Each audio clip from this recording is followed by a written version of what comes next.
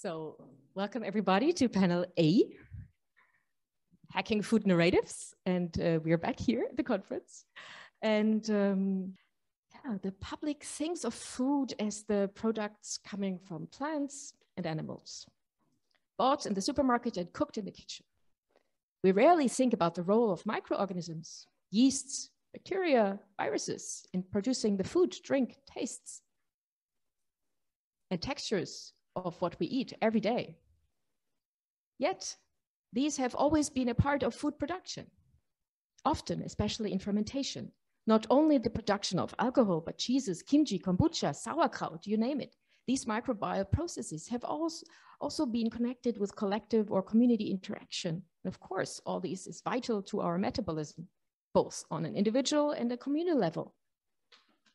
This communal process was ignored or neglected in the modern era.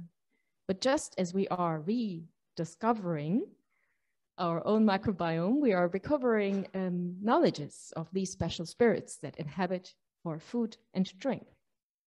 So the artists we have here today will talk about and challenge the narratives Western society has created around food. And I'm very, very happy to uh, present our first speakers um, artists involved in our exhibition Hackers, Makers, Thinkers, the Rice Brewing Sisters Club, with Alethea Hyunjin Shin and Min Son and Soyun Ryu. Uh, you have combined artistic research uh, with practice through a framework of social fermentation. Um, your practice of social fermentation has been hopping between fields of visual art, performance, creative writing, oral history, the colonial histories, I've already said, geographical, geological observations, and anti-wisdom. In this presentation, you will detail our approaches to social fermentations as both a form and a method by bringing together the past projects, observations, and conservations and actions. Thank you so much for being here. So hello, everyone. um, we're very happy to open up this Hackers Maker Hackers, Makers, Thinkers Symposium. Um, we are Rice Brewing Sisters Club, a club artist and practitioner who have been working with the social fermentation uh, since our founding uh, in 2008. Uh, I am Hemin Son. I am Soyun Ryu. Nice to meet you all. Alethea Hyunjin Shin. So three of us at the moment actively working in this club. And in this short talk, uh, we will first spend some time introducing how we have been conceiving social fermentation as a concept, as a method, as a form. And also we will spend the rest of the time with some reflection about um, the time we've been here in Berlin so far, uh, especially about our project, uh, Terrestrial Celestial, Celestial has emerged. Uh, it is an ongoing project and still in um, gestation. We will provide some episodic accounts through the lens of uh, Dung, which is a descriptive word that we think nicely put together um, as artistic social process and also um, how social fermentation functions in this artwork. So what is social fermentation? You would be very wondering. Um, we're thinking of this uh, social fermentation, um, two words, two concepts put together, the process of fermentation and also combining with this adjective social. Um, gonna just go a bit, yes.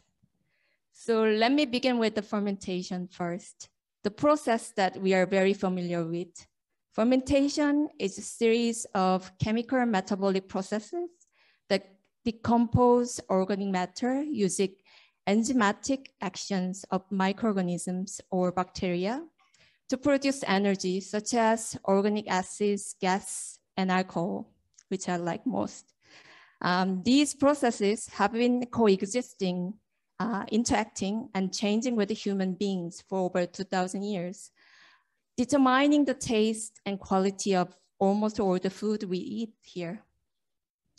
When I think about uh, fermentation, uh, it reminds me of my grandma's house in Korea. There was a big pot in the corner of the house, and she always kept that uh, big pot in, in the house. The pot was always covered with a blanket at the warmest corner of the floor. And it's full of sweet and sour smell and filled with the rice and water. So it, it's fermenting there um, ages. So whenever the blanket was uncovered, it revealed the magical moment, such a magical moment that um, transferring from something very sticky to wonderfully fragrant. Then maybe can we take uh, fermentation, a process in which a substance ripens to change in the different substances over time beyond the boundaries of food culture and imagine it as a social model, a way of life, and a knowledge system. Let's think of these questions with the social layer of the social fermentation. Um, firstly, can process-based fermentation and its chemical activity become an agency of recognition, especially when a substance meets a new environment, then becomes a new dimension of its substance. Secondly, is it possible that social fermentation addresses how hospitality and conviviality, in addition to the aspect of organic sharing in fermentation, can be extended to contaminate boundaries between microscopic, microscopic worlds and beyond. Lastly, can you ex explore how women's overlooked collective labor in fermentation is reframed in history, belief systems, um, and solidarity? With these questions um, in mind, I would like to ask two other sisters behind me to break down the concept of social fermentation individually and collectively. So. Um, so the concept of social fermentation for us, uh, we just kind of want to share our story. Um, the concept of fermentation for us is a metaphor and an art form and also a method. The social, social fermentation represents what each member brings to the table. And it also represents the clash of agreements, disagreements, and sometimes sparks of resonance when different worlds or beings meet. It also represents what we create in the trial and errors of us working together. Um, so far, our members comprise of, of interest of biological fermentation, anthropological research, um, and also social organizing as part of our backgrounds. Our interest contributes and takes role in our work and every project that we do. Um, so social fermentation is also a method for us. We choose to meet and we choose to do things with others. Um, we actually partake in developing a network within ourselves and outside of ourselves. And this is partially because there are things that we don't know there are also things that um, we seek to understand. And this is great. Um, and artist collectives, aunties, farmers, and scientists have been collaborators who held these experience and wisdom and insight um, through their choice of living practice and also in response to the environment they live in their given time um, so these are people that we want to work with and um, continue to ask for collaboration. Um, non-human matters such as our senses, history, memories, systems, microorganisms, spirits, um, has also been active part partners in our work. And all this informs us in the making of our artistic modes of collaboration. And by doing so, I hope to say within the temporal relational space that we create in our projects, that we seek to create a safe space and time to channel and unpack the social frameworks that we encounter. And in the context of the coloniality or feminism or ecological practice, or the non-human or human discourse and more future conversations that are to come. Um, that we continue to do things ourselves and with, and with others to feel and know and what we might conti continue to explore and build um, as we continue to make work as a collective body. Thanks, Alethea. My thoughts resonate with the other two sisters, but I just want to add a note that um, there is indeed a material specificity that uh, the, this biochemical definitions like metabolic process and the chemical changes in the organic substrates and the actions of enzymes, all of these biochemical knowledge um, do take core parts of our practice of social fermentation. But at the same time, we're also thinking about the possibility of this process to expand its biochemical boundaries. And in this sense, I think our works might even test the limits in, in a playful way, which we can think elastically between fact and rational and irrational, institutional and vernacular. For instance, how elastic are the words like metabolic processes, organic changes, or enzymes in this case, or in our works? These processes not only apply to the chemical knowledge of the organic matter we deal with, but also with other knowledge systems that we have thought that all of us might have thought as non-scientific and hence non-rational or even the anti-wisdoms, for example, deliver this feeling of nostalgia and mesmerization, of course, at the same time, actual rigor that we have more exclusionary rather than inclusive ways. So it is in the sense of what we call elasticity that we think of social fermentation as our core method. And by elasticity, we think about it as a method of breaking boundaries and hierarchies of value systems. And it is also, in a way, a political method or a belief that it is possible to create micro or macro, temporary or permanent forms of community once we break these boundaries. For one instance, dealing with social fermentation very, very often goes against the primacy of productivity or certainty that derive from our mostly anthropocentrist value systems because things take time to mature and we don't know when it's going to mature. Um, it also involves a lot of contingencies and variances, including time, climate, humidity, mood, energy, and all of these decide the right balance between the sour and the dry, or the fermented and the decayed. But we don't exactly know um, how this is going to take place. So, of course, we do a lot of research, but we find that all, all of these researches are not enough. Um, and overall, the state not knowing or not being able to know, yet knowing somehow with our bodies and feelings and senses, all of these processes determine a lot of our artistic practice. Um, so in an object that we see and exhibit at the ALB space, the object is not a finality in itself, and we're going to explain what we mean later. Um, it is rather kind of an open-ended circuit. That's how we perceive it, that continuously morph its forms and outcomes depending on where we are and who we work with, what kind of environment, um, social and climatic environment that we're in. And through this method of social fermentation, we believe that these uncertainties, uncertainties translate into a kind of elasticity. Um, lastly, I want to note that this open-endedness that social fermentation holds might turn it into a metaphor. And we actually have seen this thought from a very well-known book um, called Social uh, Fermentation as Metaphor by Sandor Katz. But at the same time, throughout the three years that we have worked together and struggled together, we realize how fermentation, uh, when interpreted socially, especially, um, is very far from being a literary device, but actually something that is very tangible and very material, even capitalistic. In other words, it is not only something that we conceptualize, but something that we do, hence doing social fermentation.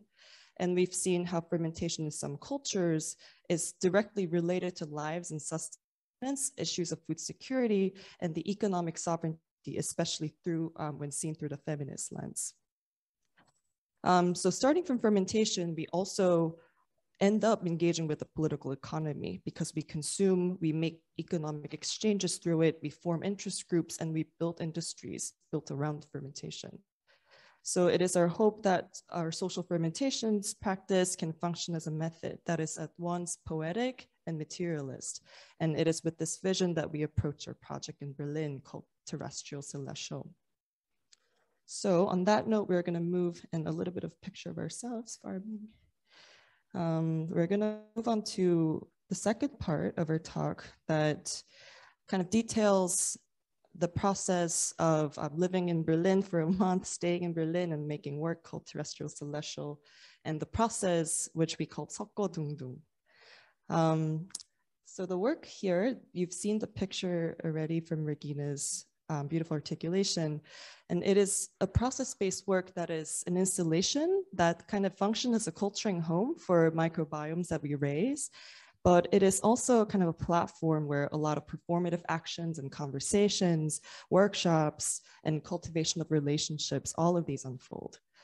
Um, and it is definitely a that um, kind of adapts across time because um, fermentation takes time and it ferments throughout the exhibition period until July 10th. So in this in the context of this talk, we thought it's best to kind of provide some episodic accounts um, surrounding this installation and how it came about, rather than maybe giving a linear um, narrative of what this work is. So we're going to provide three episodes, um, and I think Hemin will start us with one called So Land. Yes, um, Soy Soy Land, um, Hook Land in Korean. Um, so we're traveling back to Korea. Uh,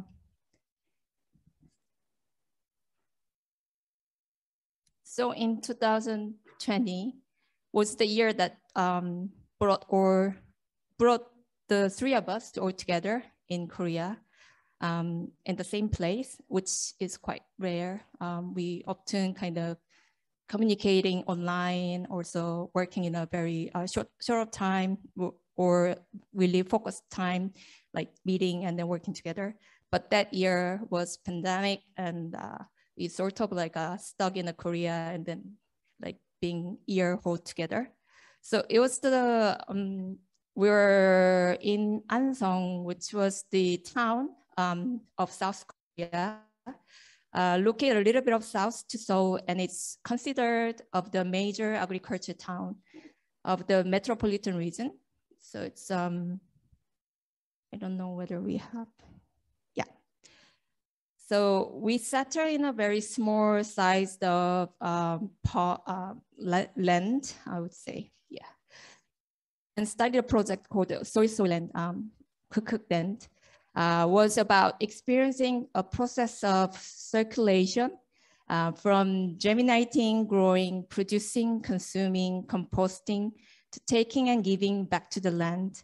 So um, whole year, it was very hardcore learning for us with bare foot, bare, bare hands and feet all together for a year. And um, yes, uh, basically we are cultivating a land and uh, planting seeds and then learning different discourse from uh, different farmers and then scientists to, uh, to grow these uh, plants, which is like a native plants in uh.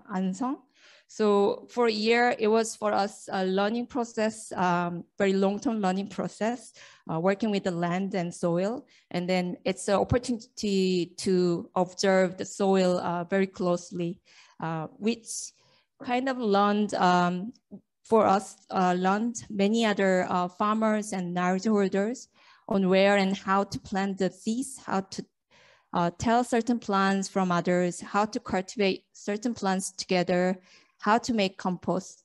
And it lets us um, uh, pay more attention to what indigeneity, um, tojong in Korean, meant to the land we live in. So that's uh, just to show through a little bit of our working process here. But this is very closely um, connected to what we have been doing in Berlin at the moment. So um, I'm gonna hand over to the second episode, um, Seokkeodungdung, Nuruk and Sokkotiumbi, Regina already again explained beautifully what this is, but um, so this is, so 누룩 is a Korean word uh, for fermentation starter or yeast. And sokkotiumbi is another Korean word that is a composting method using uh, what is called indigenous microorganisms or IMO. So the process of making both duruk and 석고띄움비 is actually really similar. Uh, we would make and sculpt a ball of rice using rice flour. Let me see, like this. Um, and then we would just let it sit for a little bit, um, depending on the environment surrounding us, and let the microbes attach to um, the rice balls as mediums. And throughout the past three years, we have been researching and experimenting with this method, as Hemin explained, in Sabah of Malaysia, learning from Auntie Ita how to make, um, in this case, laru or ragi. And we've been conducting workshops of actually making nuruk and developing into more of a cosmic, okay, sure, thank you. Um, cosmic, more of a macro vision to fiction making and propagating memes. And here we're doing this experiment, but um, with attention to the process of how it's being made and we call this 석고둥둥 because it involves a lot of mixing actions and stirring actions. And 석고 means stirring in Korean, and 둥둥 means the action of floating. So we'll mix it together um, between different human agents, non-human agents, and let it sit, ferment for a period, and let the white microbiomes kind of attach to it over time. And then this is how the microbiomes flourish and cultured. And then we would it in um, terracotta, which replaces um, the ongi, the Korean clay jar from, uh, from the Turkish market, and then let it ferment over time period. And with this process of Seokkeodungdung, mixing, letting it float, um, we mix microbiomes coming from various soils found throughout Berlin, um, many of which soil we don't know where it's coming from because of the histories of Berlin soil, of mobility, localization, being, having a lot of sand, therefore being donated soil from a lot of nonprofits and corporations. We are dealing with all these histories of mixing and floating. And we are doing this with a lot of people with migratory backgrounds um, coming from South Korea, Turkey, Mexico, many other places. So we're making this a huge mix and of things that we don't know where it's coming from, where we're fermenting, experimenting, and seeing how it goes. So this process of kind of contingencies is something that we've been really enjoying here. We don't know how it's going to ferment after all. Um, we will open our first, first batch of microorganisms by the end of this week. Um, and we will make the second batch and kind of adapt the knowledge that we've learned in the past few weeks into the next generation. Okay, Alethea, Alethea is going to quickly introduce the third episode. Okay. Yeah. Um, and then we've been doing this experiments in uh, many community gardens throughout Berlin, um, Tempelhoferfeld um, and garden colonies in Kreuzberg, um, and also Neukölln, um, with many of the collaborators who are also here. Yeah, so that's what we've been up to, and thank you so much for listening to us. Thank you very much, Rice Brewing Sisters, and we will uh, come back to your uh, amazing project uh, during the discussion. And I'd like to continue already to our next uh, wonderful speaker. We're so happy to have you here, Pei, Pei Ying Lin. I start already introducing Pei Ying. Um, so, Pei Ying Lin is an artist and designer from Taiwan and currently based in Eindhoven, the Netherlands. Her main focus is on the combination of science and human society through artistic methods and is particularly interested in building a common discussion ground for different cultural perspectives regarding elements that construct our individual perception of the world. Pei you have won the honorary mention in hybrid arts category of Ars Electronica in 2015, also the honorary mention of Starts Prize in 2020. So many um, prizes have been um, also before been taken, given over to Pei Ying, and also there is the um, professional runner-up in speculative concepts, of course, of the V7 Awards in 2015, or the Bio Art and Design Awards. So um, awards for an amazing array of uh, projects, interdisciplinary projects in art and science. And today, Pei, you will tell, bring us into the world of a project that we have actually um, uh, been exhibiting at Art Laboratory Berlin, Virophilia. Thank you for being here. So thank you, Regina, for introduction, and thank you for inviting me here. Uh, it's actually been maybe two years that I haven't been standing in front of the people because of the pandemic, so I might be a little bit nervous. Uh, so I'm introducing the project Virophilia here, but I will start with a little bit of uh, my trajectory or my journey with viruses. Um, I've been interested in the project uh, in viruses for a very long time. And here you see is one of the projects I did around 2011-ish. It's called smallpox syndrome. And it introduced, uh, interests me with viruses in the very beginning because a science fiction novel that was written by a Chinese author talking about smallpox being coming out again, where everyone was being affected, um, disregarding what their background is, what kind of economy standard they have. And then because of that, I start to study how I quite like this neutrality of viruses, that everyone is equal in front of virus. And so I start to explore all the notions that related with it. And the first notion was hygiene, and where hygiene is connected with beauty. So um, I was studying in RCA, Royal College of uh, Arts, in uh, design directions then, and we do a lot of speculative design, design fiction. So I was um, using the method of imagining um, what will happen if we play on the notion of beauty that if you're vaccinated, then you're considered more hygiene and more beautiful. So you will actually display the code on the forehead or on the parts that you want as a makeup and it's also a vaccine at the same time. And I think I was estimating uh, around 2020, we will have a world that we've been affected by viruses so much that it becomes a big part of our life, which was fun. Um, and then in 2016, the virus uh, journey continues. And this is a project that was uh, funded by the BAD Award, where I was collaborating with a virologist, uh, Miranda de Graaf. She uh, is studying um, this virus called norovirus that you probably all got it before. It makes you puke and diarrhea. And if you got infected, you get immunity for two years maximum, and then you will be affected again. The thing is, it's impossible or they haven't developed vaccines for it yet. So we propose that uh, we should try to tame them. And this notion of taming them is proposing that we need to live with them. And by living with them, uh, we don't have the ability to change the virus, so we have to change our behavior, which is a little bit funny to look at it now, since for the last two years. And with all these kind of um, exploration of viruses, and because of this question uh, that was situated in art, makes me understand more about viruses, and I get a little bit tired about looking at viruses in the pathogenic perspective. And so start to look for other relationship that we have with viruses. This is the image of the tulip breaking virus, and it was being very famous in the 18th century in the Netherlands because with a tulip that has this kind of variegation, you can buy a house and it's like so expensive. It's so expensive because nobody knows. We didn't have the idea of virus then, and they didn't know why it was causing this variegation.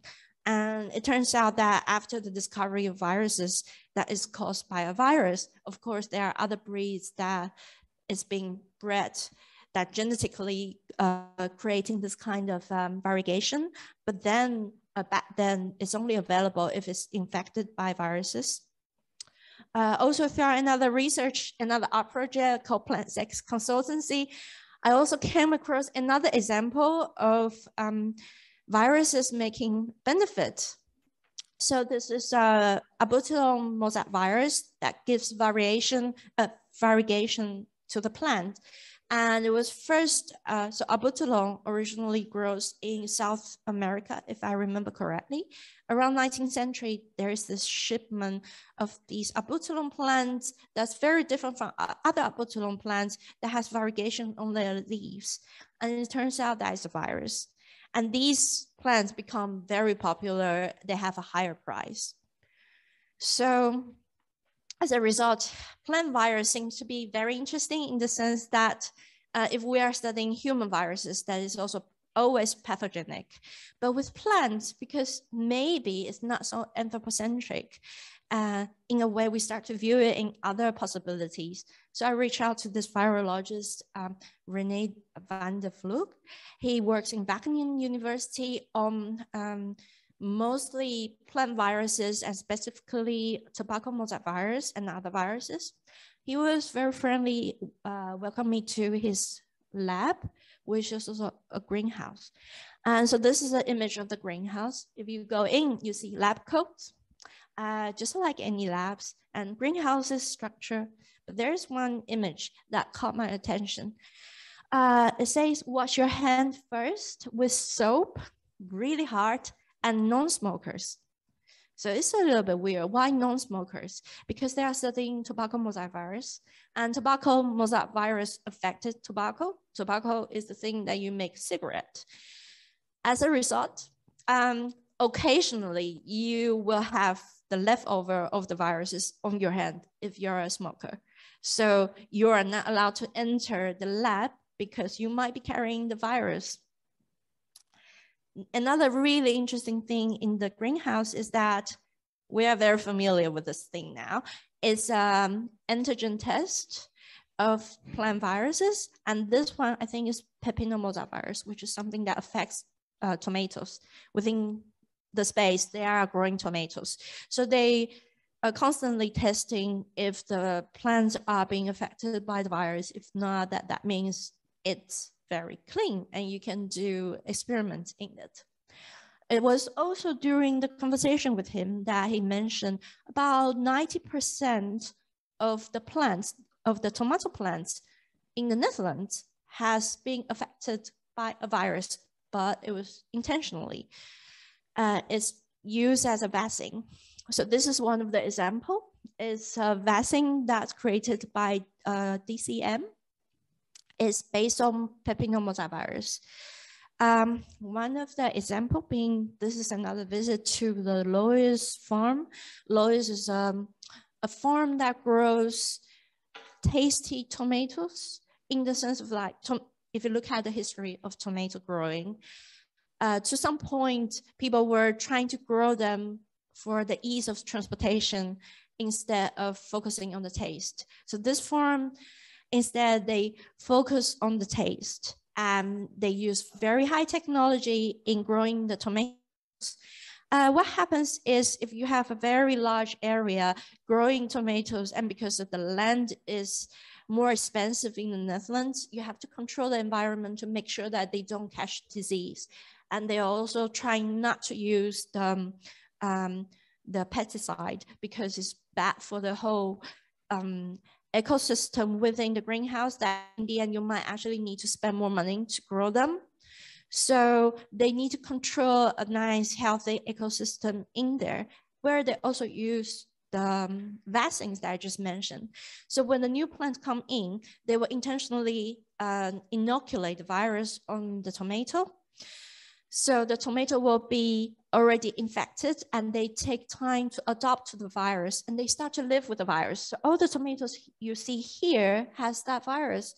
And also because um, the boss from the greenhouse mentioned that if you infect the virus uh, at the wrong time, because the plant takes a while to adopt to the virus, uh, it will affect the yielding of the tomatoes. So you need to choose the right time, allow enough time for them to adopt to the virus so you can have the best yield. And that's why they have a very high percentage of viruses um, in the tomatoes in the Netherlands, because we think this is the most economy way of using the virus to grow the plants. Uh, I had one small experiment performance uh, in in Vienna and where people were trying uh, different tomatoes from different places and I provide them with an antigen, antigen test and they were discussing whether the tomato is tasty or not. And it was really funny, like some people like the one that has viruses more. So all these experiences brought me to this virophilia book. It first started with uh, a future scene. So I try to position myself as the author in the future of 2068.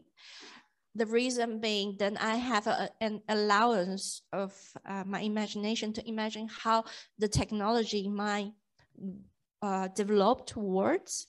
So this is me as the fictional author writing, looking back at this history of how we develop new methodology of using viruses in cuisines, because that might change our mentality. And it's uh, break down to five chapters that goes from around now-ish to around 40 years from now. The first chapter goes about now is that people start to simulate the viral experiences. Can you have a food that make you sick?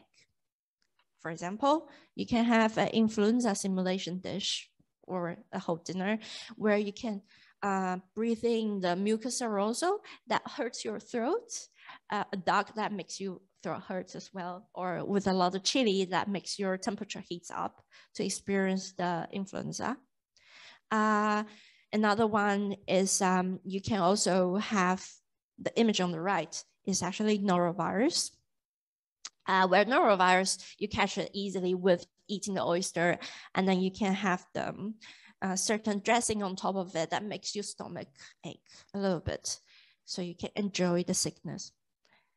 Uh, the second chapter is a bit more sophisticated. So we have fermentation fermentation usually works with bacteria because viruses is much harder that you have to grow the virus within a living host. And so I was thinking of what if that is doable? Can we ferment?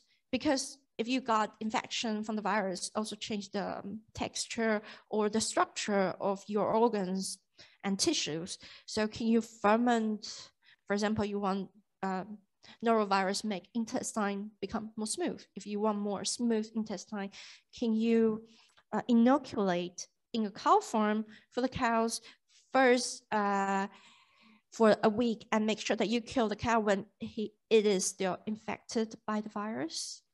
And then you make sure that it's the right kind of virus that doesn't spread to human. Would that be possible? Or taking the example of some existing viruses that makes plants be more durable to drought? Can we also use that virus to make plants more durable to drought as a, a result, making it more sweet because it can grow in um, drier space?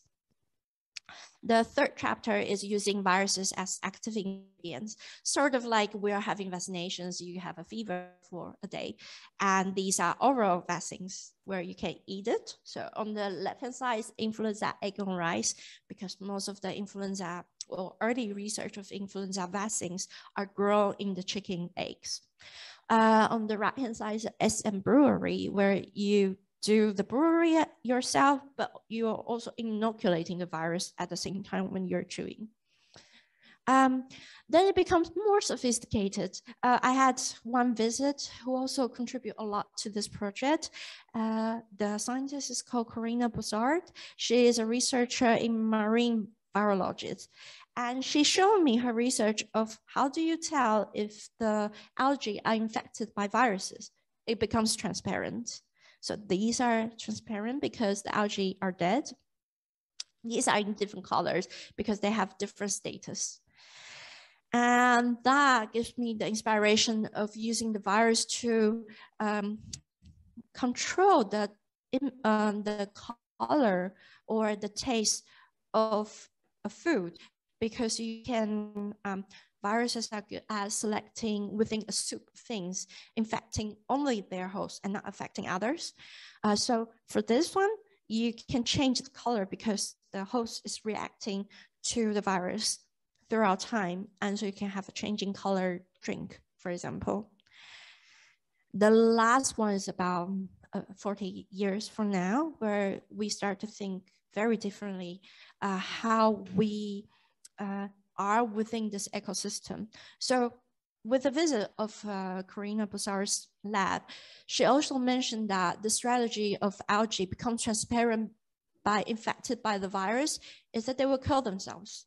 Um, so instead, with COVID, we are trying really hard to make sure the individual who caught COVID doesn't die from that. But for algae, because they are single cellular organisms, it's comparatively cheap for them to just kill themselves and to protect the bigger community. That makes me think about how we value life very differently within uh, different species. So I was proposing that considering different species has different value of life, we can design dishes that everybody in the food chain can enjoy, but some got completely eaten. Some of us uh, in the food chain will provide something back into the food chain instead for others to join. It's quite sophisticated, and if you have time, then maybe you can read the story in the exhibition. Um, so it's also very difficult to uh, transmit this feeling of being sick. And so the project also exists in the video form where I have the actress eating the dish that has the virus. It's also existing as an installation, which I think the most important is the scroll behind because that's a growing list of viruses that we know uh, that has names, but COVID is not even on there because it's a subgroup of uh, SARS in there. And it's been around 7,000 of them when I started the project, and now it's grown to 9,000. And it's estimated maybe only a 10% of all the viruses that we know. So, you know, there are a lot of possibilities. And it also exists as a demo performance. But during COVID time, we also do it with food delivery where you can get the food, open it up, um, join the online meeting where I tell them the story of the viruses while they're eating the food. And it also becomes a very interesting exploration because with all these dinner performances, I collaborate with different people, uh, chefs, people who are interested in cooking and develop the dishes for them. And this is the image of a collaboration I had with the tea house in Japan, which actually throughout the process, we discovered that the albino tea, the white tea, uh, a special kind, is probably also affected by the virus. And that brings a very mild, nice, soft taste. And we were also trying to integrate the idea of if it's being affected by virus, can we have like two different kind of taste of the poor? Or can we have um, an alcohol contained tea as a way of sanitize ourselves? And that's the end of my presentation. All right. Thank you very much, uh, um, for your um, fascinating presentation. And I want to move on to our third um, talk, to our third speaker, who we are absolutely mind blown to have not only in the conference, but here in person in Berlin. Uh, Oron, Oron Catts is with us here today and tomorrow in the two-day conference. And um, welcome, Oron. And uh, before his presentation, let me just quickly introduce, for those who do not know, Oron. And uh, we can say that we have here different generations of um, uh, artists um, working with life art and uh, life. And I think Oron is a very important artist here. So just to give a general introduction, Oron Catts uh, is the co-founder and director of SymbioticA, the center um, of Excellence in Biological Arts, School of Human Sciences at the University of Western Australia, Perth. SymbioticA was awarded the inaugural Golden Nica for hybrid arts in the Prix Ars Electronica in 2007 and the WA Premiers Award in 2008. Together with Ionat Zurr, uh, Oron founded the Tissue Culture and Art Project in 1996 Catts was a professor at large in contestable design at the Royal College for the Arts in London and a visiting scholar at the Department of Art and History, Stanford University, and a visiting professor at the School of Art, Design and Architecture at Aalto University in Helsinki, and many, many other projects and uh, evolvements. Um, we could continue the line. Um, let me also just uh, say that um, Oron curated 13 exhibitions, published, co-edited four books, published more than 80 book chapters and journal articles. And um, your work, Oron, featured in exhibition in venues such as MoMA in New York, Centre Pompidou, Mori Art Museum, and Science Gallery London, to only name a very, very few. So, um, Oron, the stage is yours, and you will um, tell us today a few ideas in context of nature-free agriculture, hacking and contesting future food systems. Thank you for being here. Thank you so much. Um, thank you. Um, thank you, Regina. Thank you, Chris, and everyone else who's responsible for having me for this short visit. It's, it's was a dream of mine to come to Berlin and see what you're doing for many, many years. So it finally happened post pandemic. So it's great fun to be here. Um, I will give you some provocations. Those of you who know me know that I'm a provocateur. So, you know, you don't have to take me too seriously, but uh, hopefully you'll get some points uh, from what I have to say. Uh, but before I start, I really would like to acknowledge the Whadjuk people who are the traditional custodians uh, of the land from which I live and work, which is Perth, Western Australia, or the Boorloo on the Derbarl Yerrigan. Um, and I would like to acknowledge their strength and their continuing culture and pay my respect to elders past and present. And actually, in the context of what I have to tell you, in the context of what we heard before, this type of uh, traditional knowledge is becoming, in my opinion, more and more important, especially when we're dealing with food systems. And uh, I, would like to acknowledge that, and I would like to acknowledge that some of the stuff I'm going to tell you today is inspired to, to a large extent from conversations I had with uh, some aunties and some traditional owners uh, in Western Australia. Um, I never thought that I'll be dealing with food systems, I must say. I, I, I, grew up in a farm and that really took me off food systems for quite some time.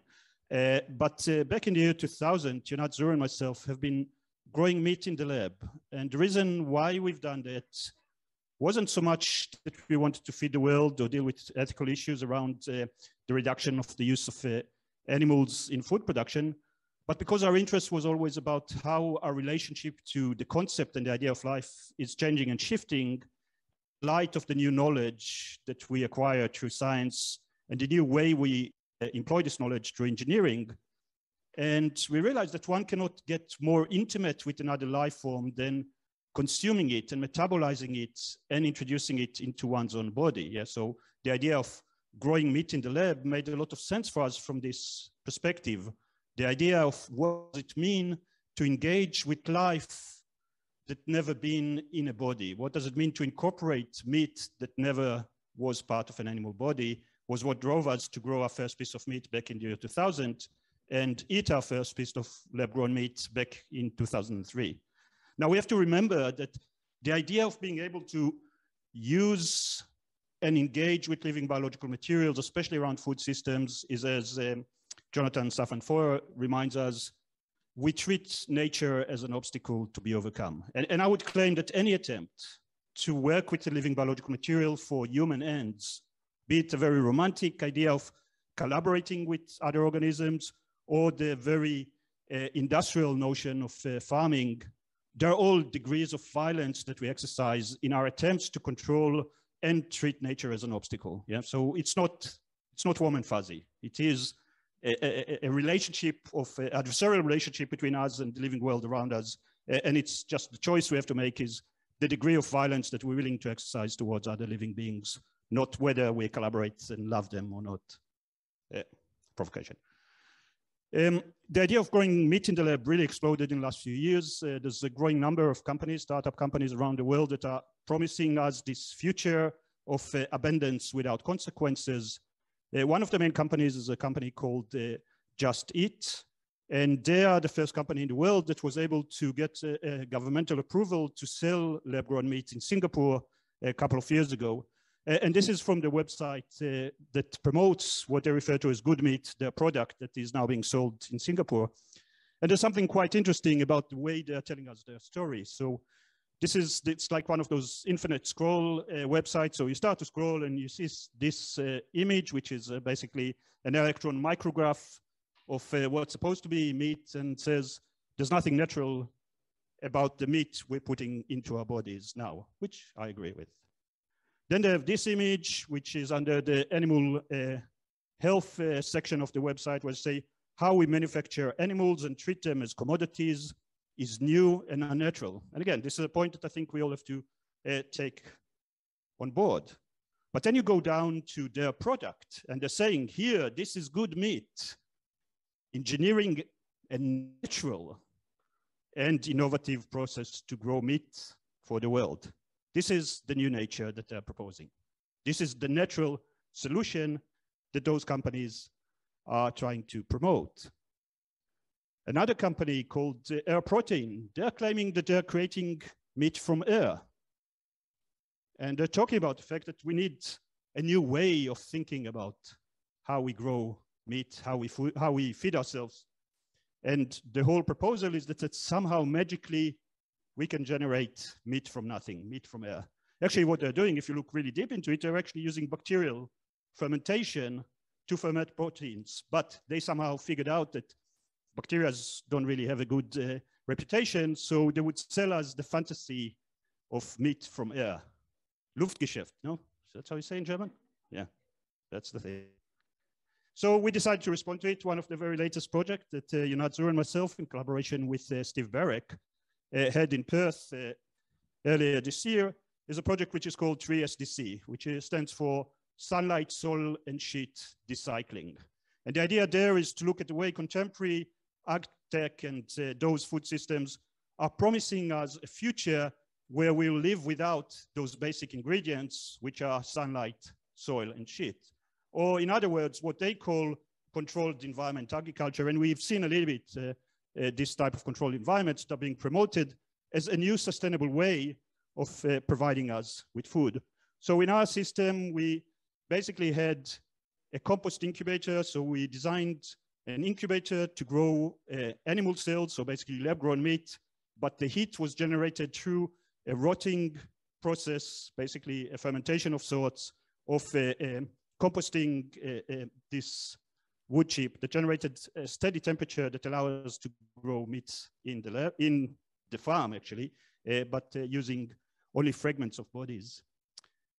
Um, the meat was then, and because it's a cycle, you can start everywhere you want. Uh, here you see on the side also a, a hydroponic system um, that was used to grow uh, plants that wasn't used for food, but were used to feed the compost to heat the meat that was then being processed using a, a technique which is called alkaline hydrolysis uh, that is now being promoted as a form of environmental cremation um, to produce the fertilizer to grow the plants in the hydroponic system to uh, basically for the uh, compost that was then was eating the meats or incubating the meat cells that were then used as the starting point for the alkaline hydrolysis, and so it went. So it was basically a, a, a, useless cycle because obviously there was nothing there for human consumption. And on top of that, we had what we refer to as the control center. Steve Barek, our collaborator, is a, an amazing artist that uh, deals with um, sensors and technology, and we basically uh, developed a range of sensors that provided us large amount of useless data. And just before I came here, I went to one of the most neoliberal conferences one can imagine, the DLD conference in Munich, and there was a whole panel about uh, those control um, agricultural environments. And one of the things that really struck me, and you know, we thought we are doing a satire here about this, uh, creating shitloads of data that no one really needs, but as a way of kind of promoting this whole idea of those new technologies. And one of the speakers in this DLD conference was talking about the fact that we need to think about data as a new food ingredient. This is how fucked up things are. Yeah. So in the name of sustainability, many new food production and agricultural uh, ventures such as vertical farming or cellular agriculture propose a system that removes natural elements from the process of production. The idea of soilless farming techniques, or animal products without animals, are presented as having less, or in many cases, no impact on the environment, this is something we call metabolic rift technologies. So metabolic rift technologies are prime example of the Prometheanism uh, approach that favors extractive approaches over instructive methodologies of production. Metabolic rift technologies call for separation from nature, following a very similar mindset to uh, where am I? Yep, following a similar mindset that leads to tech companies uh, to promote the metaverse, for example, as a nature-free site for human habitation, obscuring the environmental cost of such an existence. So what all of those technologies are doing, and this is the idea behind the metabolic rift technologies, is that we somehow would like to believe that we can use technology to separate human existence from nature. So not just treat nature as an obstacle to be overcome, but totally separate our, our existence for, from nature itself uh, in the name of sustainability. Uh, and by doing so, somehow uh, dig ourselves out of the mess we're in. But what they're actually doing, and this is what the metaverse, for example, is doing as well, is just creating this illusion that we have no impact on the world around us. It's separating us, it's obscuring, it's hiding the victims of our existence, it's not eliminating them. So, and, and when you think about it in the context of where we are now, so in the Industrial Revolution, one of the major outcomes of that was the separation of sentiency from labor. Yeah, so the idea was to create machines that are non-sentient in order to allow us to uh, be able to produce more and more and uh, generate this industrial revolution that uh, led us to the kind of existence we have now, and by basically removing biological agents, yeah, so workers, slaves, slaves or uh, working animals, and replacing them with those non-sentient machines. Uh, in the so-called fourth industrial revolution, which is what is being promoted at the moment, and, and, in many cases, actually, even the best intentions of artists that are trying to deal with those issues, we are part of that very same mindset. Uh, the fourth industrial revolution promised to bring sentiency to machines through things like artificial intelligence. And again, conference after conference I've been to lately are talking about this idea of bringing sentiency to machines through AI and autonomous systems. Another panel in the DLD was about uh, the creation of, of autonomous enterprises. So basically having companies that are running by AI that have their own sentiency. So if we think about corporations as persons, now they're talking about corporations as aware, sentient persons that would control us. At the very same time, we're trying to remove sentiency from biological entities through biotechnology and synthetic biology in the name of increasing productivity and efficiency. And, and this is a slide from a recent TED talk by Isha Datar, who's uh, the CEO of a company called uh, New Harvest, which is one of the biggest non-profit organizations that promote this idea of uh, uh growing animal products without animals. And what she says there when she talks about the idea of growing chicken meat in the lab, she says rather than raising the whole chicken with those useless things like beaks and feathers and sentiency, we can just grow the muscle cells. So when we reach a situation where humans are talking about removing sentiency for biological systems, for human ends, for human uh, uh, desires and wants, what kind of world we are going to live in? If we think about the major shifts in the idea of the removal of sentiency from labor with the Industrial Revolution, where it led us, and now we think about the removal of sentiency for biological systems, while at the very same time we give sentiency to non-biological systems, what kind of world we're going to live in? So as an artist, I think this is one of the most interesting questions uh, that we need to deal with. And we need to deal with uh, now. It's, it's an urgent question because those, as I said, with the combination of that and the metabolic rift technology and the metabolic rift mindset, the idea is that this is somehow promising us a solutionist approach towards the problems we're in, at the very same time that it's doing nothing but hiding the real problems that we're facing. And just one little example. Um, this is a paper that was published just uh, last year by MIT engineers who were talking about the idea of being able to grow wood in the lab. So it's not just growing meat, not just growing milk in the lab. It's now also proposing to grow things like wood in the lab. And in there, they're talking about why do you need to grow the whole tree uh, that has all of those unwanted or unusable plants, parts of plants anatomy, such as bark, little twigs, roots, and leaves. So how are you going to feed it? What's going to feed those this lab-grown meat?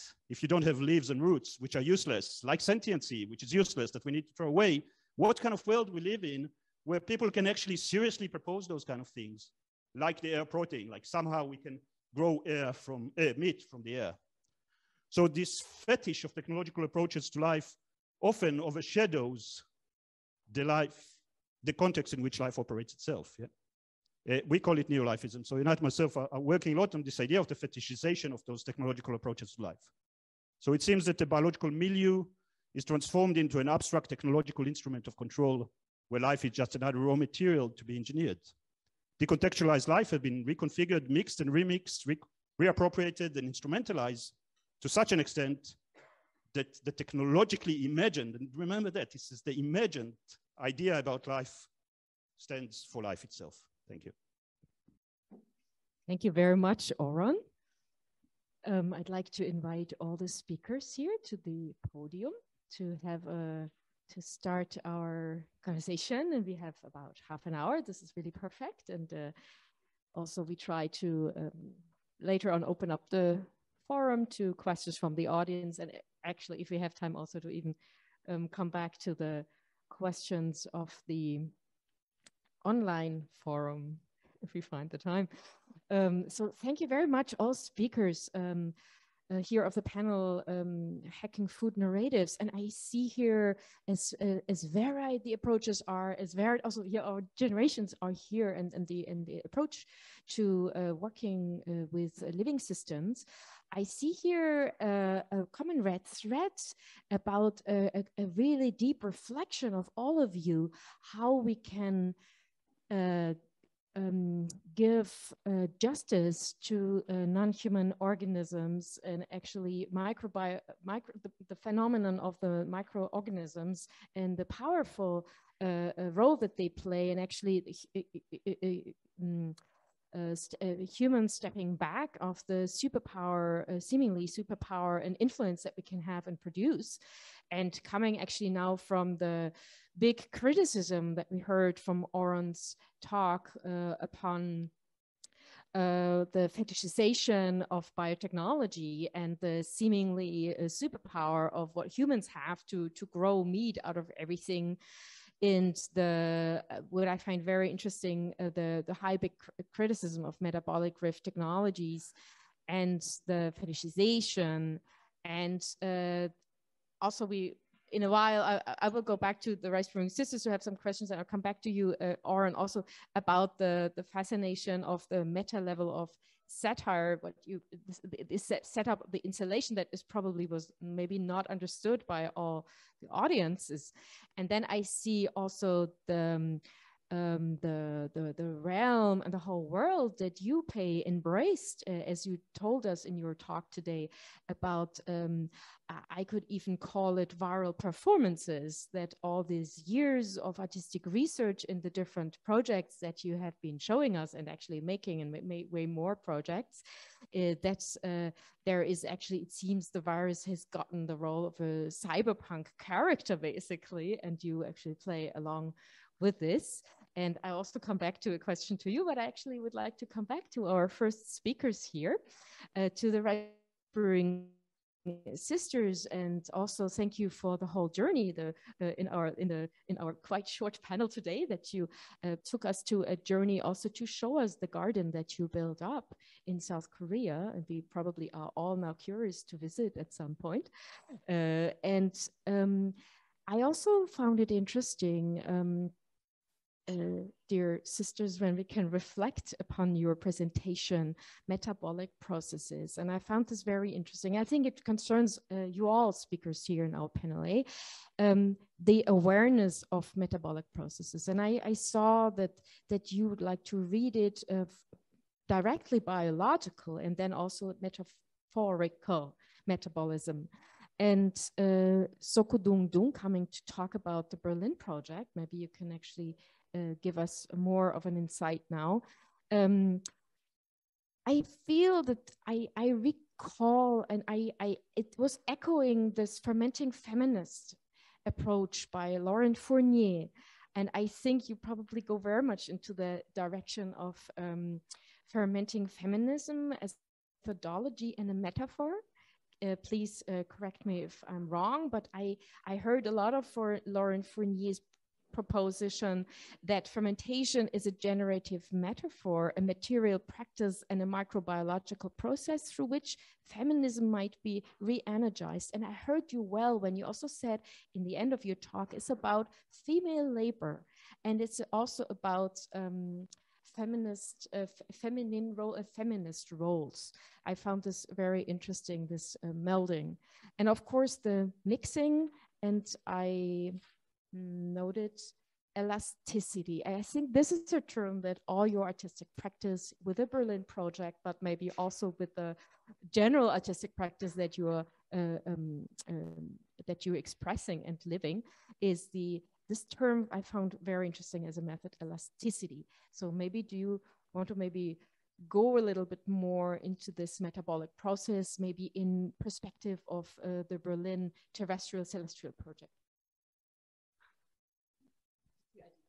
And if you would be so kind to come here to our camera that we can actually embrace.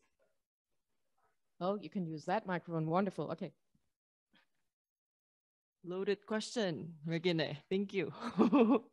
I think all three of us can can kind of offer something. Um, okay. Come to me. Why don't you just join me here? We have the camera, we have the audience, so maybe I just hand over whoever wants to speak. Sorry about the loaded question. I basically only wanted to find uh, a sort of a way in to actually continue talking about your Berlin project.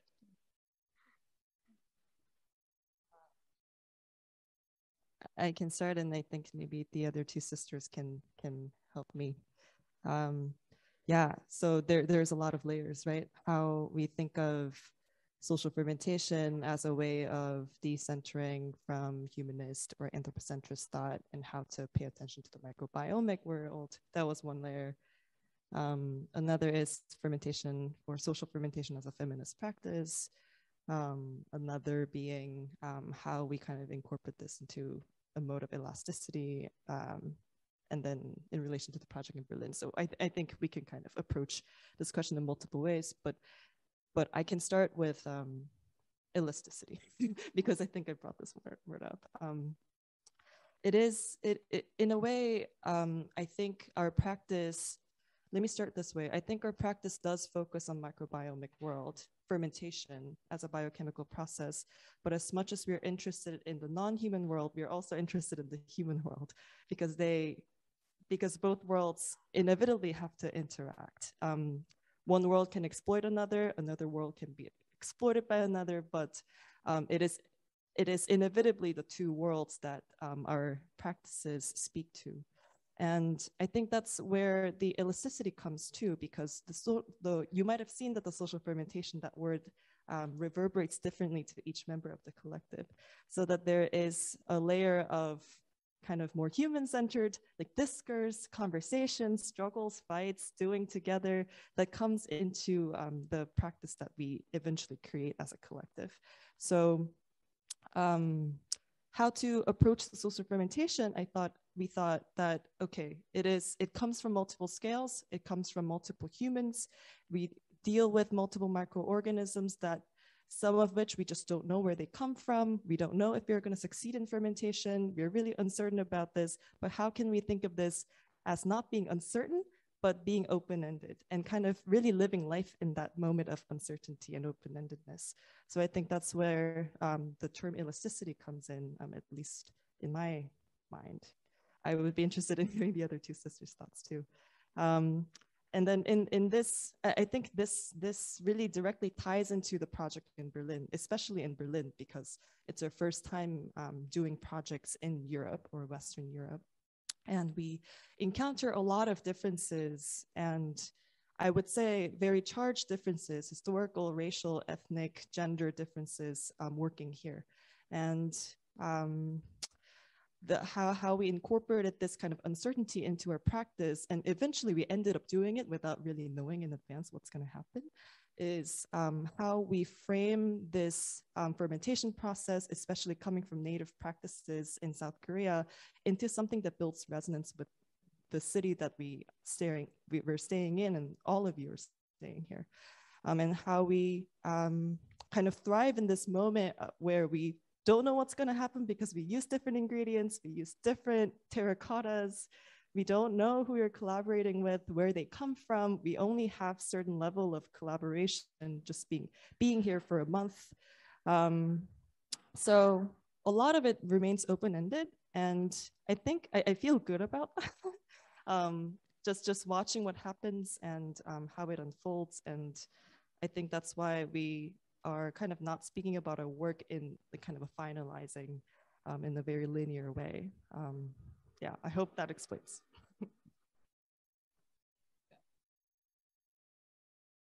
um, uh, just want to point out that um, when we we traveled a lot um, we traveled to Southeast Asia mostly um, before pandemic. So we went to Taiwan or Malaysia, Indonesia, uh. Uh, we stay there for a month at least and try to learn um, how to make uh, like a yeast, and also how to make a rice wine. So basically, whenever when when you have a rice or crops, then they are making alcohol with this kind of crop. So when we uh, visited um, certain area and a certain rice field, uh, we always met aunties, daughters, and uh, sisters. Um, I don't know why, but probably it makes sense that um, they have the knowledge that how to make uh, rice wine.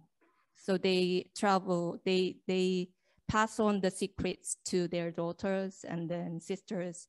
So the knowledge kind of keeping in their kind of sister, sisterhood. And we find it that's very uh, precious and also that's really hidden and also being forgotten in Asian culture.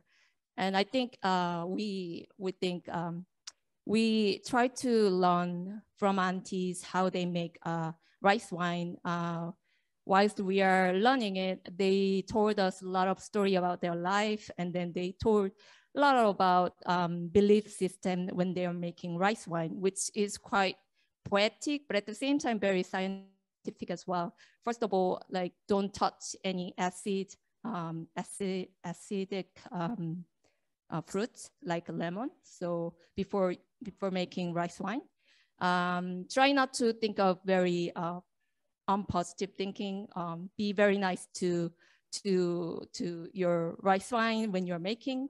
So there are a lot of uh, belief system that is not really proven or maybe that is kind of overlooked, which we found it very important. And we like to have that uh, culture and have that stories into our social fermentation practice.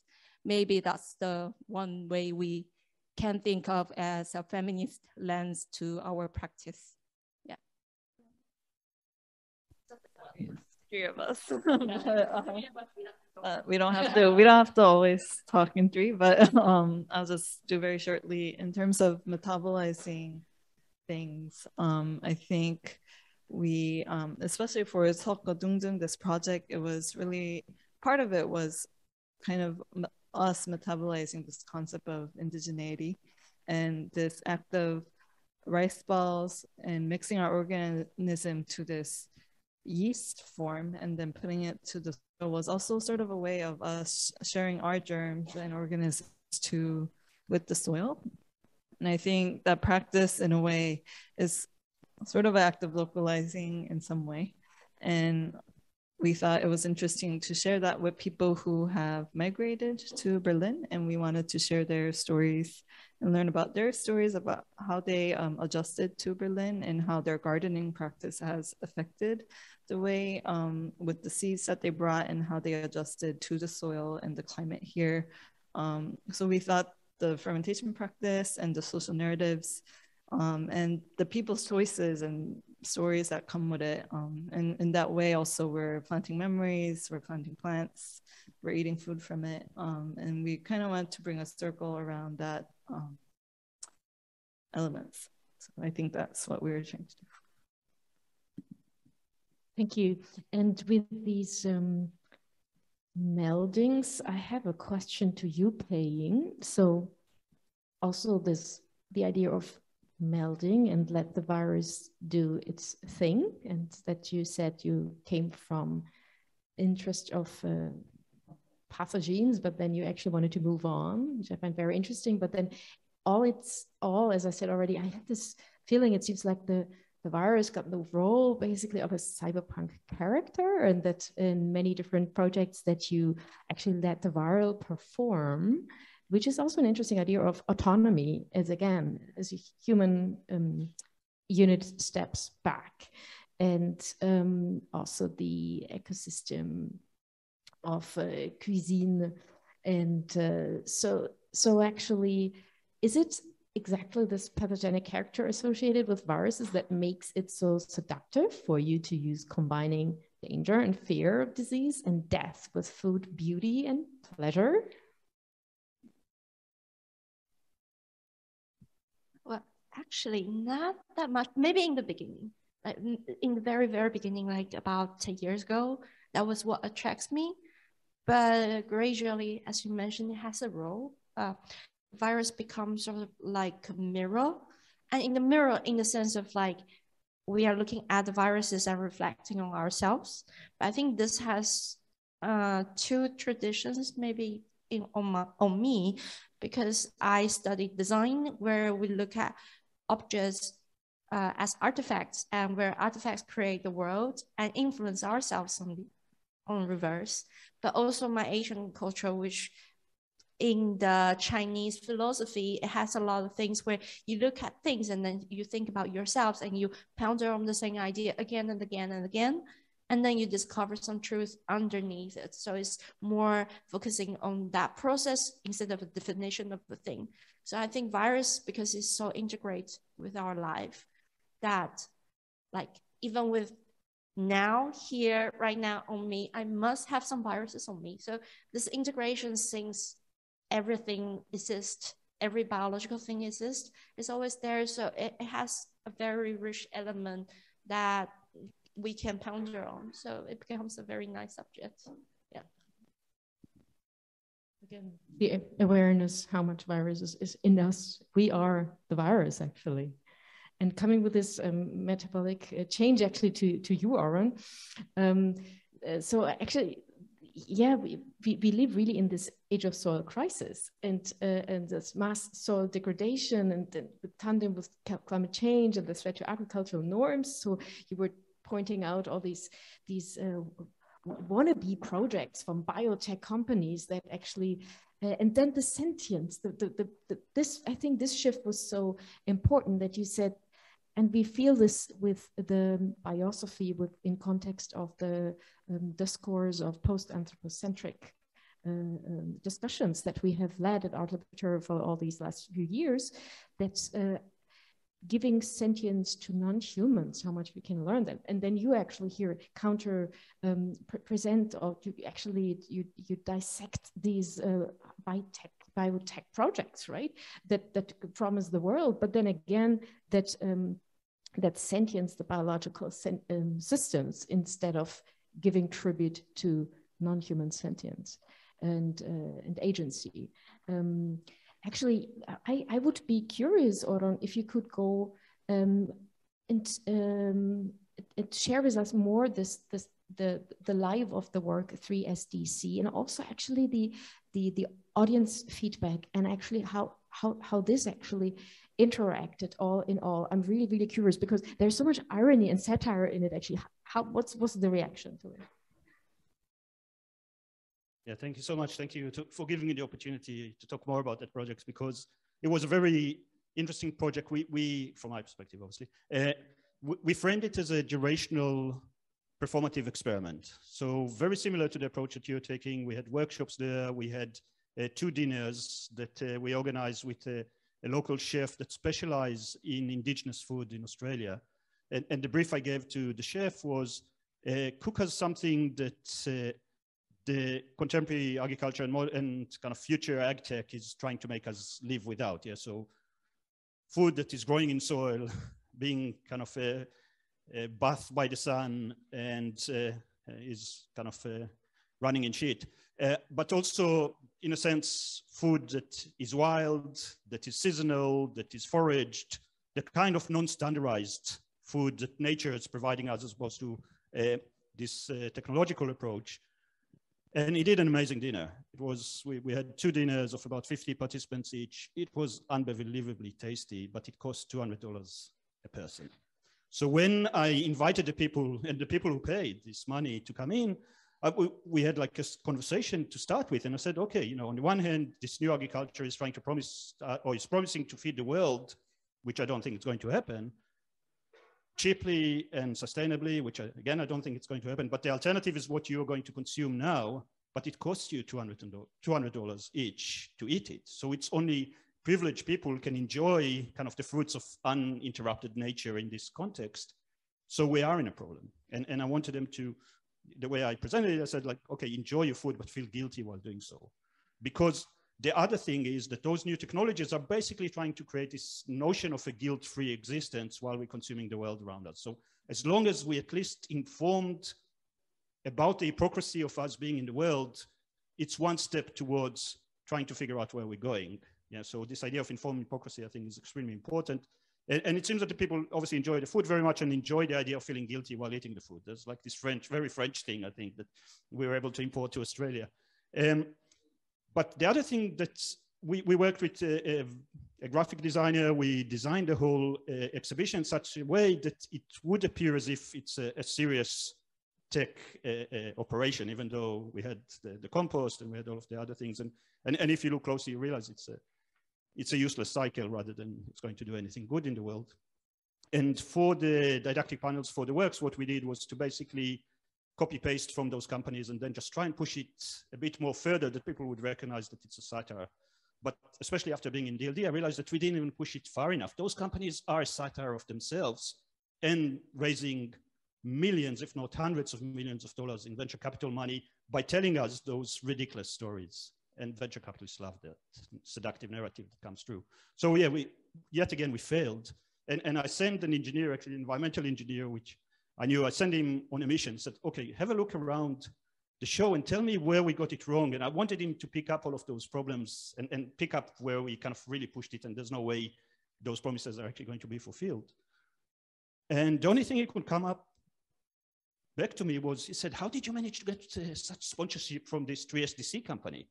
He was just so captured by the fact that we designed a logo that looked like a logo of a company that he couldn't even think about anything else. And again, thought that it's real. And then I had two visitors. One was um, looking after golf uh, lawns in Australia, in Perth, which is one of the worst environmental polluters in of the river uh, uh, in Perth. And uh, his partner, who was uh, an environmental scientist working for mining companies in re remediation of mining. And, and they were like the most amazingly thick people in the sense of not being able to, again, see the satire and understand the issues that they are supposed to be the people who actually should be in the know. This guy didn't even know how much pollution his lawn is producing and how, how many kind of algae blooms we have in the river because of the type of stuff, because of people want to play golf. Yeah, it's, it's not even something that, and the, the one about the environmental remediation, she, she had no clue about the, the soil biome you know, what kind of environmental remediation you can do in mining if you can't re rebuild the soil with the biome inside it and then claiming. So they're all kind of greenwashing and, and they left the show saying, best of luck, you know, hopefully you'll be able to commercialize your ideas. You know, that's kind of the world we live in. We're, we're totally fucked. Well, you leave this actually uh, to, to me here. Uh, okay, it's, it's the conundrum of the world we're living. So we have maybe a comment, uh, questions from the audience. Yeah, does anybody want to ask a question from the audience first before we look online? Now, yeah, just a quick question. I was thinking to ask uh, Oron, in terms of why do we not want to eat animals? Is it really about the sentience? And my question is also related a little bit about science fiction because I'm very interested lately how do we construct narratives and then how do we construct realities in art and biology. And there's like this story about Philip K. Dick uh, uh, about the wolf, and he gains like he's conscious, he has sentience even, and then they eat him anyway, right? So we're discussing what's the reason why we eat or not eat someone. And I was also thinking in terms of science fiction of Margaret Atwood and Oryx and Crake, and they also have like these chicken breast creatures, you know, and then the thing that you told us today, like we extract the parts that are not necessary from this. So I was thinking in terms of science fiction, but also in terms of why do we eat or do we want to eat creatures? Right. Yeah. Thanks for that. And obviously, you know, the idea of growing meat in the lab is a, a, a very kind of important trope in science fiction. There's a space merchant from the late 50s as well. They're talking about the little chicken, which is this big chunk of chicken meat that they keep on cutting. Uh, so, so I think there's a couple of things with the narrative around lab-grown meat and growing animal products without animals. Uh, one is the idea of creating this guilt-free existence. And, and there's a really interesting philosophical critique about it because it's not solving the problem of how we relate to the world. If we create those technological solutions for those ethical issues, we're actually enhancing those ethical issues. We, are not allowing, we, we're basically, you know, it's another form of a metabolic rift of the sense of the contract that we have with life around us. Um, we had a project back in the early 2000s called the DIY Devictimizer Kit, and that was to do with uh, something we noticed in Spain. And this is kind of a little story, but I think it tells a lot. Um, that what we noticed in Spain is that as the amount of McDonald's increased in Spain, so did the resistance to bullfighting. So this idea of replacing this very small scale, ritualistic and respectful, but very violent uh, relationship to uh, bovine, to cattle, uh, in bullfighting with the much more large scale, massive, but totally obscured and implicit violence of, you know, fast food burgers. This is how our culture is moving towards because it's not about the removal of the victim, it's the removal of our perception, of our vision of the victim from in front of us. So when you grow meat in the lab, you still use animal products. Uh, you still use fetal calf serum, but even if you get rid of it, there's so many other ingredients. And this is one of the things that those narratives are telling us. It's as if the lab and science and technology is kind of the, the magic of the 21st century where we can get something from nothing. So that's why I think the air protein is such a nice idea of, of the type of stories that are being told to us at the moment. And this idea that, you know, we can claim that bacteria is not sentient, but they're trying to hide the bacteria from, our, uh, from that story just to give us this amazing narrative of manna from heaven, of somehow science brings us food from nowhere. And um, at the very same time, yeah, we, we are kind of trying to push this idea of removing the sentiency from animals, but they're also that's not the top story. That's I was really happy to see it from in the talk in the TED talk that Isha gave because usually they don't even talk about it, even though it's implied. They talk about kind of the environmental consequences, and again, this idea that somehow we can create our existence totally separated from nature, and this is kind of the, the metabolic rift technology that is being promoted more and more as, as a way to get out of the mess we're in. And, and it is science fiction. You know, those companies are selling us science fiction stories because those things are not real you know, those companies are way better artists than any, uh, anyone here in the room. They're making the world so strange. But we are the collateral damage of the stories they tell investors, not the stories that are actually happening in the world. And, we all believe those science fiction stories now that are all to do with just money changing hands and nothing to do with the reality of our existence. Hello, and thank you so much, uh, Joanna. I'm here today. This is my name from New Zealand. Um, I'm really interested in uh, to hearing briefly from whoever of all the speakers uh, has enlightened ideas. Um, from the Rice sisters, I heard several times just you dropped comments about the spiritual, but you didn't go further into that. And Pei Ying said um, the value of life is treated different, differently by different species. And then Oron said, uh, talked about the degrees of violence we are with, we are willing to exercise towards other living beings.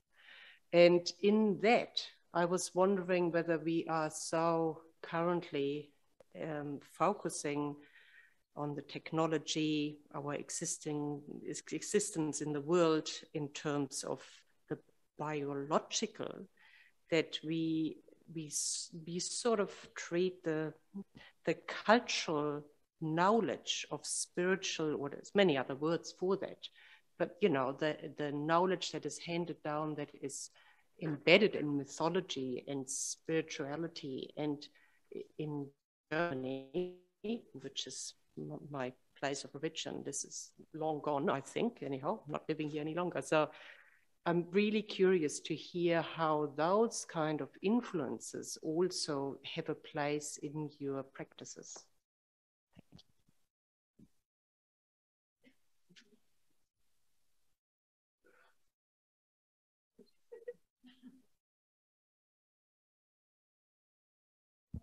Not sure how I can answer this.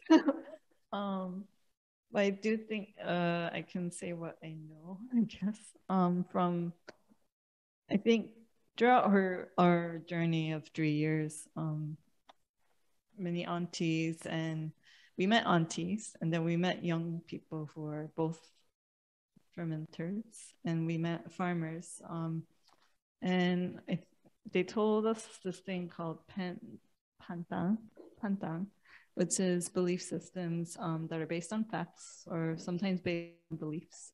And there's things such as um, don't drink or eat anything sour before you ferment something. Um, have good thoughts when you ferment because if you have sad thoughts, well, the drink that you make will bring sad feelings and things like that. Um, and Anta, she was telling us a story like these things I don't believe, but I believe because if I don't believe, I don't really have a story to tell. Was we thought was an interesting um, way of how she expressed it, and and I think as we um, continued on our research on ferment, fermentation culture or doing farming ourselves, um, there's there's a gap of what we know and what we trust choose to know, and um, and even with younger people who are using all these technologies, they they also told us they there's this gap where they just have to let go and trust the process. Um, so in, in those little snippets of experience, I think we also just doing farming and it's our first time, so we just having to let go. Um, those are moments where we felt trust, but also trust in the people that we work with. Um, so, so spirituality, truality, it, this process of working um, as a group and working with the people and in the projects, um, it made us think about spirituality, but with no answers. um, but the fact that we feel it in some way is interesting. Um, and yeah, and we also share different beliefs. So just kind of having the space to just talk about it and ask about it um, was a good process for us.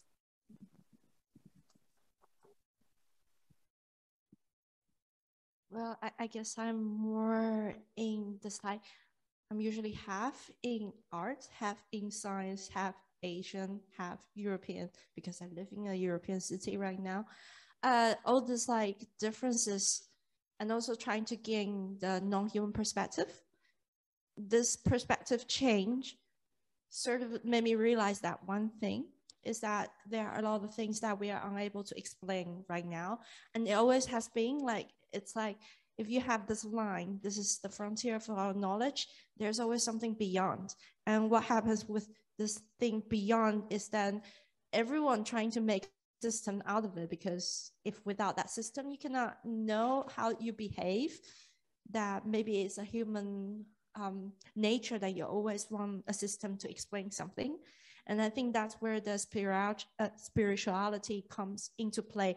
But it's not always just one system. I think i quite enjoy playing um, what kind of spiritual system will exist if we are already at that edge of the knowledge and then uh, as the person who make the thought experiment, you have different background, different uh, perspective, different stand and environment, and then you make a different system out of it, and that becomes really fun and sometimes gives you some interesting insights. Yeah. yeah just uh, very shortly, it's a really great question. And this is something that Ionat and myself have been battling with for the last 20 odd years, almost 30 years, working with life as a medium for artistic expression. And not being spiritual or religious, we still believe that life is special. So, how do you generate what we refer to as a form of secular vitalism, the understanding, the recognition that life is different from any other material around us, uh, without resorting to metaphysical kind of argument, is in a sense the journey that we're going through and it's still not resolved and it's something that we, it's just, a, you know, I don't think we'll ever resolve it, but striving towards a form of uh, secular vitalism as a way of engaging with life and understanding that life is not like any other material that we are exploiting and extracting value from is the beginning.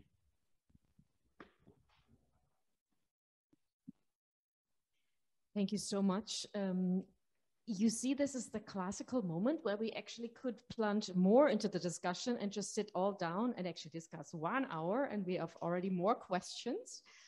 But the great thing is we structured the conference that we will tomorrow do the discussion walks the panel walks and we have taken a lot of notes. And uh, what we do we just say to be continued all the thoughts.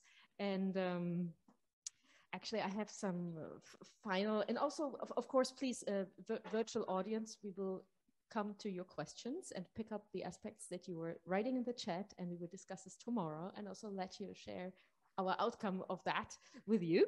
Um, but what I wanted to say for the for the end basically of our um, I know I'm biased but I say I'm interesting panel here panel A I wanted to actually uh, maybe just make a final statement and actually it, it uh, encompasses actually all your pro uh, proposals and suggestions and methodologies and performances that you were quickly sharing with us today. But we could definitely say that um, so that the techno-utopianism that we were also hearing from uh, Oron um, today, um, which in a way is um, hypermodernism in a way, it tries to seduce us to ignore the crisis. And actually, this is the crisis that you were indirectly or directly also uh, touching into the soul crisis, the, the crisis, basically. And uh, instead believe that new technologies of the dreams thereof will save us. And I think we kind of deconstructed that today to critically think about that. So it's different, basically, and I'm referring to Oron, from Ray Kurzweil and singularity promises um, promises us immortality in a hyper-technological version of the early Soviet belief that science would make us immortal gods. Hmm. And the end, uh, we only got better embalming methods for the corpses of Soviet leaders. So that is actually one of the statements of many, many statements we could give. So the time for the panel A is already over. I would say we all go over and now go over to the interesting point of metabolizing. In other words, eating, right? Which Oron told me yesterday is the most intimate thing we can do, actually, eating. So my part is to thank everyone here and uh, inside, outside, uh, virtual world. Thank you so much. Thank you, speakers, to uh, share your knowledge and your engaged, wonderful projects with us. And I would say now we go over and uh, metabolize and eat.